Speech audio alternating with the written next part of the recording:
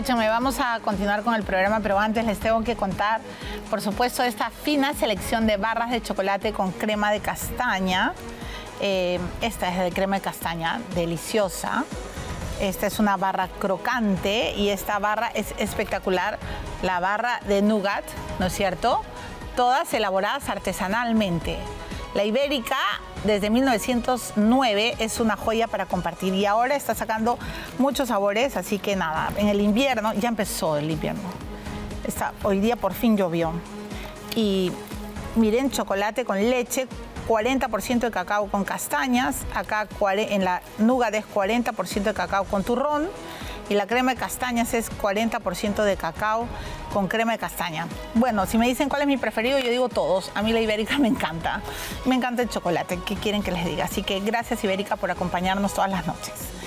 Vamos a darle la bienvenida al señor eh, y le agradezco mucho al director ejecutivo del programa Agua Segura para Lima y Callao, el señor Carlos Lozada. Carlos Lozada, además, es un hombre muy experto en toda esta materia porque él antes ha sido, em, fue dos veces ministro en la, gestión, en la gestión de Martín Vizcarra. Él no es un hombre que no sabe, recién llegado, no, no, no, no, no. Él sabe de qué está hablando y de qué vamos a hablar hoy día. Así que Muchas gracias, señor Lozada, por estar hoy en este programa. Bueno, el tema es que hemos descubierto que el programa Agua Segura para Lima ya ha alquilado lujosas oficinas en San Isidro por más de 3 millones de soles. Y nos gustaría entender las explicaciones. Nos dijeron, además, bueno, primero quiero entender sus explicaciones porque tengo demasiadas preguntas. Buenas noches, bienvenido. En primer lugar, agradecerte, Milagros, por la oportunidad y por el espacio que me brindas para poder comentarte el trabajo que viene haciendo el PAS-LC, que es el programa de agua segura de Lima y Callao, en beneficio de los 800.000 pobladores de Lima y Callao que no cuentan con el servicio de agua y alcantarillado. Ah, o sea, no son 654 Son 800.000 aproximadamente pobladores, compatriotas que viven prácticamente en 25 distritos de Lima y Callao que no cuentan con el servicio de agua y alcantarillado por más de 15 a 20 años. Correcto. Bien, respecto al, al tema que estás mencionando, eh, bueno, esto viene del año 2022, en la cual entenderás que el PAS-LC es una unidad ejecutora. Yo diría actualmente el PAS-LC es la principal unidad ejecutora que cierra brechas actualmente. ¿Cuántas brechas ha cerrado este año? Durante el 2017 que empezó el PAS-LC, ha cerrado aproximadamente unas el 10-12% de la brecha. No, es este año específicamente. Este año, este año vamos, a cerrar, este año tenemos siete proyectos que mm. van a culminar, siete proyectos en seis distritos. Tenemos distrito de Caraballo, tenemos distrito de Jicamarca, está en Guarochirí, tenemos eh, el distrito también de Chorrillos, que está por, justo en una hora que está por culminar, y aproximadamente estamos cerrando entre el 3-4% de la brecha. Ok, o sea, y, tenemos, y aún más, milagros, permítanme. O sea, en el 2023 no le han dado agua y desagüe a nadie. No, sí. ¿A cuánta gente? Así, por ejemplo, por lo menos estamos atendiendo entre 50.000 y 60.000 pobladores. Estamos hablando entre 7.000 y 8.000 conexiones domiciliarias. Estamos hablando 7.000, 8.000 predios, lotes, que familias que tienen actualmente ya un servicio. O sea, durante todo el año, señor Lozada, del 2023, han atendido a 50.000 familias. A 50 a más o menos 50.000 beneficiarios de estos siete proyectos que ha permitido brindar conexiones domiciliarias, ¿no? Estamos hablando de aproximadamente 8.000 casas. No, 8.000 predios, lotes. O sea, 8.000 casas. Casas. O sea, nada. Bueno, entonces... No, es nada, no, No es, nada, señor, porque si usted me dijera... No, no, no, no, un momentito. Yo estoy muy molesta y usted espero que entienda mi, molestia. Usted me dice, la brecha son 800 mil peruanos que no tienen agua y desagüe en Lima, porque la brecha en el Perú es 9 millones, ¿no? Que yo sepa, no ser que haya bajado o subido. 7.4.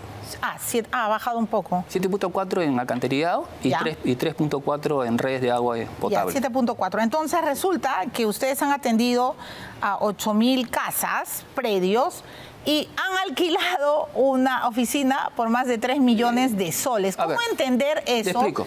Sí, porque además en el 2022 fue declarado improcedente ese pedido. Te explico.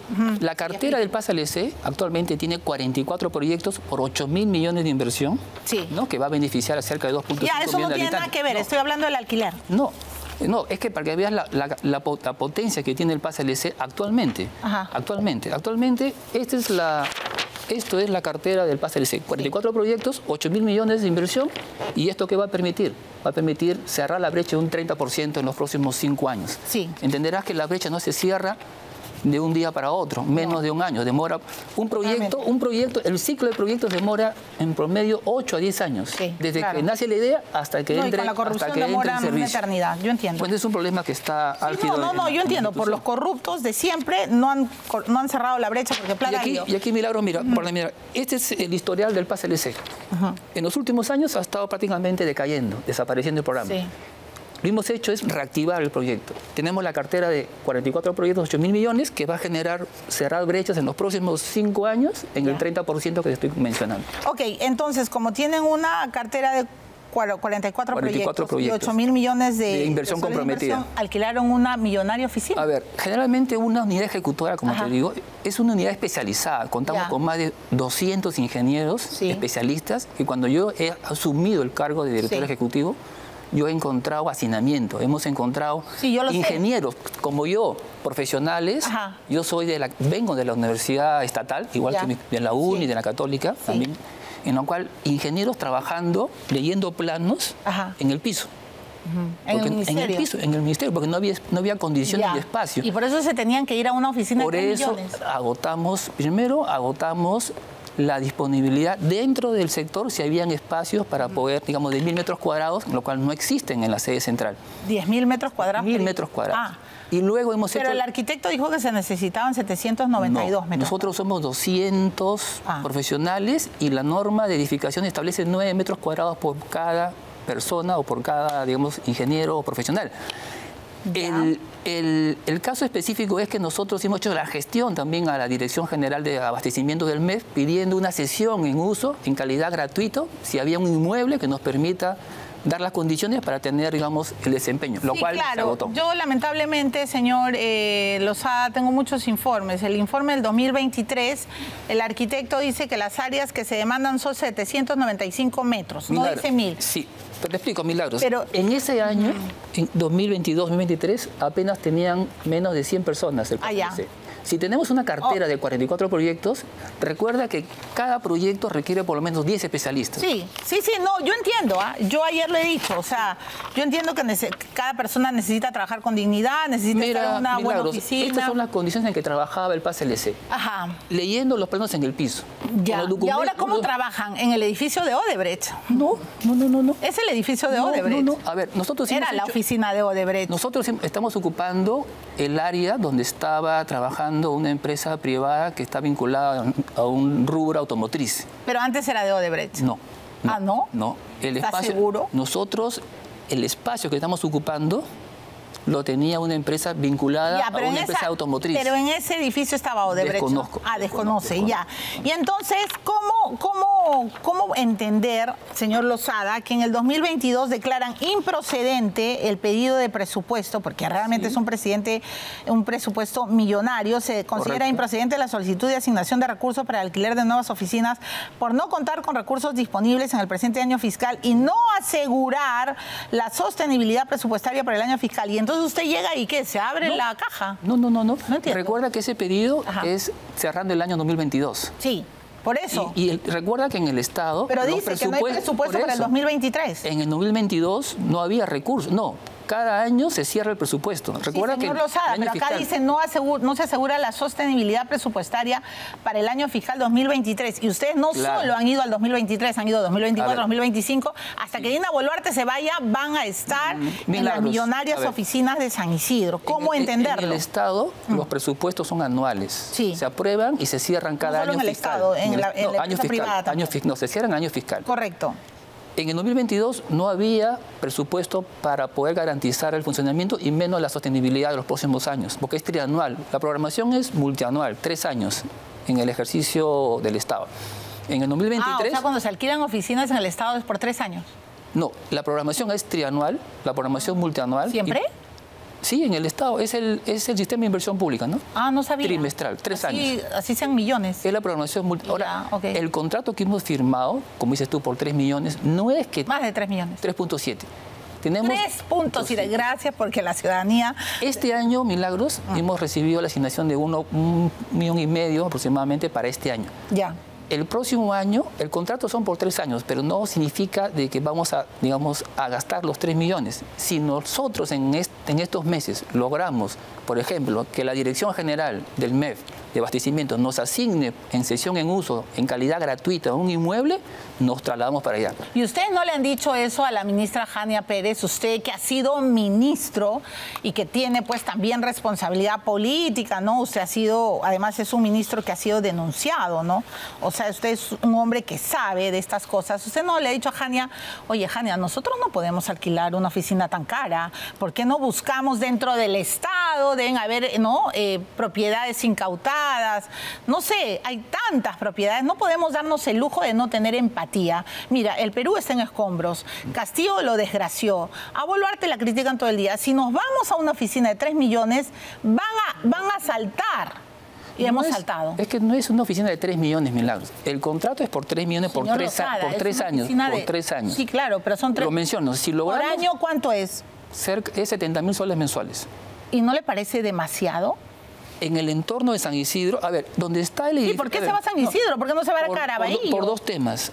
¿Por qué? Un tema que tiene que estar cerca de la sede central. Y segundo, porque un tema social. Cualquier tema de contingencia o cuando hay que atender a la población que va a la sede central, nosotros tenemos que estar cerca, porque somos la unidad ejecutora que cierra brechas en el, Y tiene que ser en San Isidro. La sede central del ministerio está en San Isidro. Ya, pero una pregunta. A ver, Milagro, nosotros hemos averiguado, hemos hecho seis indagaciones. Por ejemplo, el edificio Petroperú, que también alquila es el 40% más caro de lo que estamos alquilando actualmente. Perú les alquila más caro. Más caro. Ya. Más caro. Y pues hemos escogido el más barato.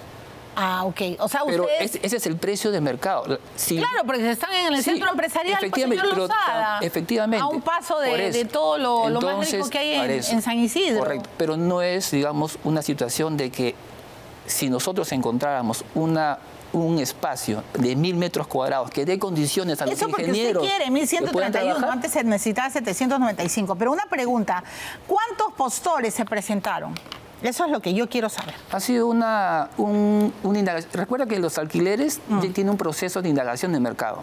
Sí. Hemos, hemos hecho una indagación de aproximadamente 6 a 7 inmuebles para seis a siete inmuebles. ¿Quién, se encargó de esa indagación? esa indagación se le encarga a la unidad de administración. ¿Pero quién? ¿Quién fue la persona encargada de indagar? El área de administración, que es un equipo. No es una persona, es ¿Y encontraron seis inmuebles? Seis inmuebles que cotizaron. No, porque solo cotizó uno. No, nosotros hemos hecho una indagación de seis inmuebles. Ya, y que no había. Es, no, claro, seis inmuebles que de diferentes condiciones, muchos que estaban simplemente para hacer todo el trabajo de habilitación de mobiliarios, y este inmueble el mobiliario ya estaba listo para, para hacer, digamos, el traslado. Y por eso es que fue... O sea, ya se trasladaron. ¿Y tiene fotos? Porque como no nos han dejado entrar... Eh, ustedes han podido entrar sin cámaras porque justamente no habíamos No, pero yo quiero que la audiencia lo vea. Es como... son cubículos. Son cubículos tal cual. ¿No tiene fotos? No tengo fotos, pero... Es un edificio A1, señora. No, no, diga que es... No, no es de lujo, no es de lujo. Ah, no es de lujo. O sea, no es A1, son, son módulos para cada ingeniero que tiene un metro cuarenta y, y, solamente un espacio de 2.5 metros cuadrados. ¿Cómo entender que el Estado peruano se contenta con un presupuesto? Milagros.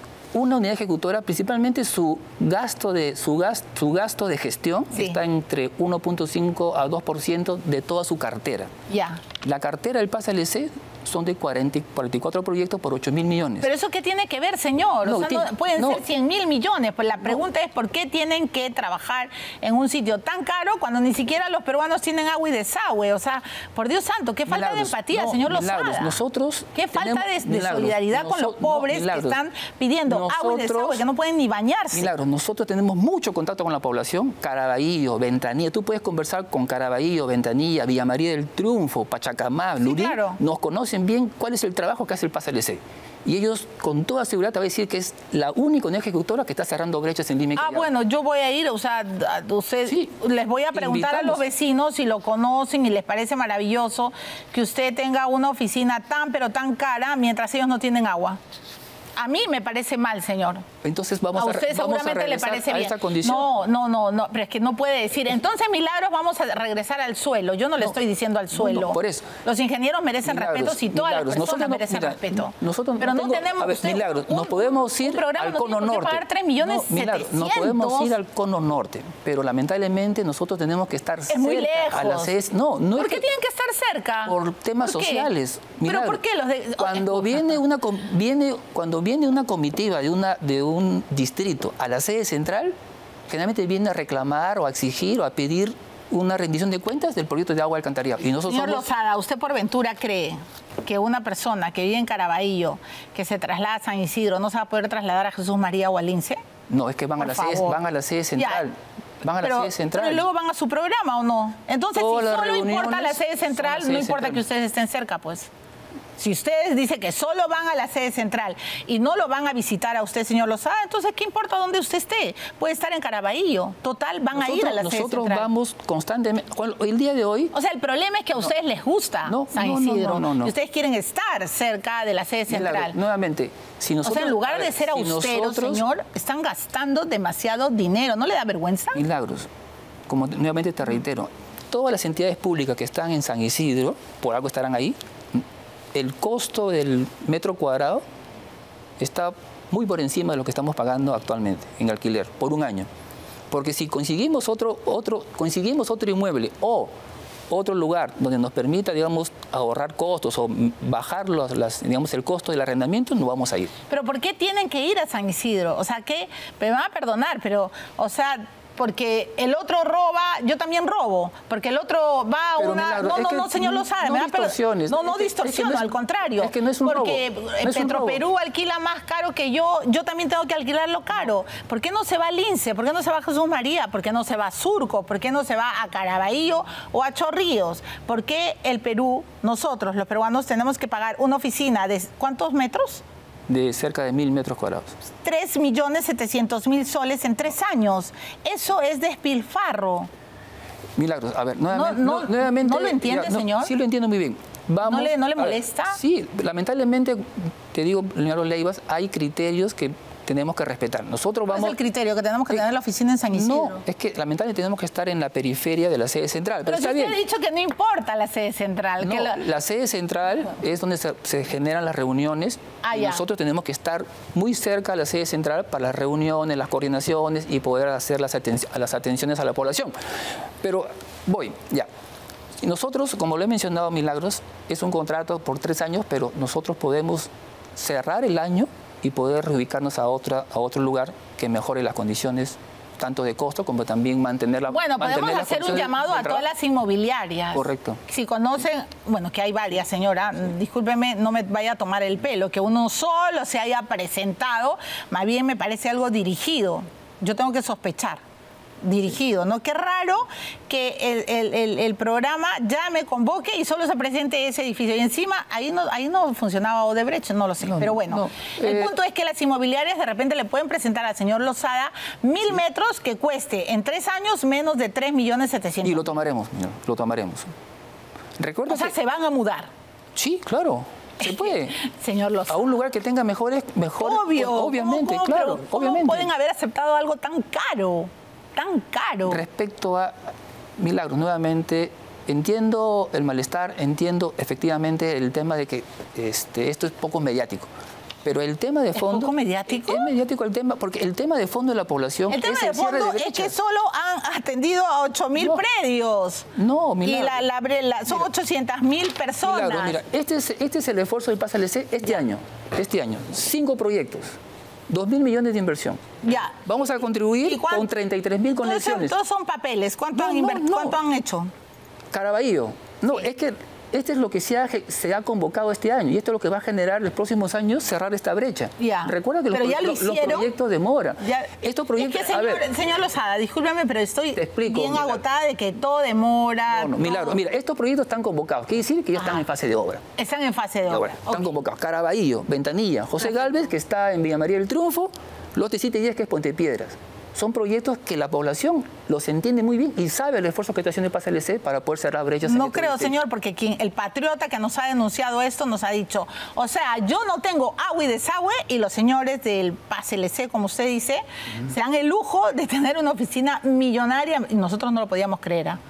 Perdóneme que se lo diga, ¿cómo, cómo, cómo, cómo, cómo, No, así es, y sí, señorita, vayan y, corroboren. Bueno, nos hemos demorado, hemos corroborado, ahora usted dice que si alguna inmobiliaria, no sé, pues llamemos a todos, a Sodevis, a, a MAG, le ofrecen un predio más barato al señor Lozada, él le va a proponer a la, ministra Jania Pérez de Cuellar, en fin. bueno, en fin, señor, discúlpeme, pero es, es, bastante bochornoso lo que, han, lo que han hecho. Nadie en su sano juicio alquila una una, vivienda, una vivienda, no una oficina tan cara, cuando ni siquiera han acortado la brecha. Pero la otra pregunta que le tenía, ¿cómo van sus denuncias? Porque usted tiene varias denuncias por delitos de corrupción de eh, funcionarios, ¿no? Ya te comento, yo tengo una investigación preliminar por haber firmado un contrato cuando era director ejecutivo de Provías Nacional. Exacto. ¿no? Y que actualmente el fiscal ha pedido el sobreseguimiento. Por la carretera Checa-Masucruz. Checa ¿Qué ha pasado? Que en esta etapa de investigación preliminar, el fiscal sí está pidiendo el sobreseguimiento. ¿Qué quiere decir? Que es el, archivamiento del caso porque no hay ningún elemento que, genere, digamos, una, una duda en el Ah, o sea, al fiscal no le pareció mal que usted haga un contrato con alguien que no tenía RUC. No, eso se ha aclarado porque era una empresa no domiciliada. Ah, se aclaró se ha aclarado porque el mismo fiscal ha pedido la consulta al ente rector. ¿Quién es el ente rector? El OS, el órgano supervisor de la le ha dicho que, está todo hay un buen procedimiento. O sea, en, Cristiano usted ya no tiene ninguna investigación.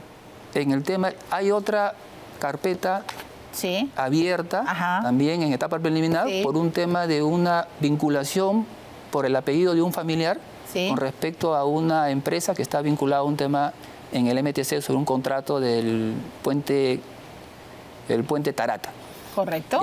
ese tema de lavado es un, es un caso de, lavado, de, lavado, de, activos. Y ahí se ha demostrado que no hay ningún parentesco, ni familiar, amical, ni profesional, con esa familia. Ya. Es el mismo o apellido. Cristiano, usted está bien, tranquilo. Y el fiscal igualmente está, va a cerrar ese tema con ¿Y, y Jania Pérez sabía todos los casos que usted tenía en. Eh, tiene conocimiento. Así. Sí, tenía conocimiento. Y, y el abogado, obviamente, lo paga el Estado peruano. El abogado, uno tiene la facultad de pedir defensa legal. Defensa legal, sí. Claro, claro, entiendo. ¿Y cómo le va a Martín Vizcarra? ¿Siguen siendo patas? No. Esa es, una leyenda urbana, Milagros. A ver, yo soy, tengo, soy un técnico, no soy político. Yo tengo 25 años de experiencia, casi 30 años de experiencia profesional, he ocupado cargos. Yo he tenido la, la oportunidad de ser dos veces ministro y es por, y agradezco al expresidente Vizcarra, pero yo lo he conocido en etapa de la transferencia de gobierno, de Humala con el gobierno de Kuczynski. Yo formé parte del equipo de la transición, de entrega de cargo, y él presidió la recepción. Usted fue la herencia de Humala.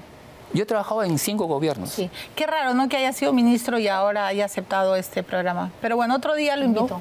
No, pero por eso le digo, este Otro día, por favor, cuando venga, denos la buena noticia de que ya no está en tema, una oficina el, el, tema, Milagros, ese tema es, como te digo, yo nos hemos conocido por tema profesional con el ingeniero Vizcarra él me dio la oportunidad de ser director de Provías, ¿no? Y luego paso a ser al gabinete por un tema de desempeño. Qué horror lo que están diciendo en Twitter. Hasta los militares dicen que pueden alquilar cuarteles.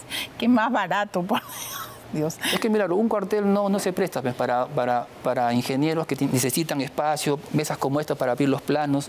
Cada proyecto... Pero comprar el mobiliario va a ser más barato. Cada proyecto son 100 cajas y cada caja tiene por lo menos cuatro tomos. Estamos hablando de 300 tomos que tienen que Ya, señor Rosada. Bueno, le agradezco. Mira cómo está. ¿eh? No, no, sí. Quiero que me mande las este, fotos. Este, es cada proyecto. Sí, claro. Mándenme las fotos de cómo ah, viven ahora. Sí, claro. Mira cómo se ríe, yo no tengo la culpa, ya.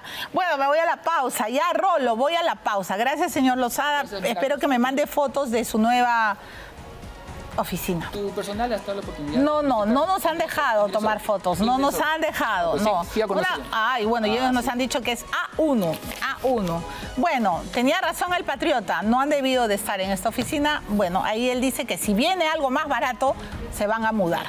Regreso con Benedicto y con el general Baella. Ya regresamos fina selección de barras de chocolate con crema de castaña, crocante y nougat. La Ibérica, desde 1909, una joya para compartir.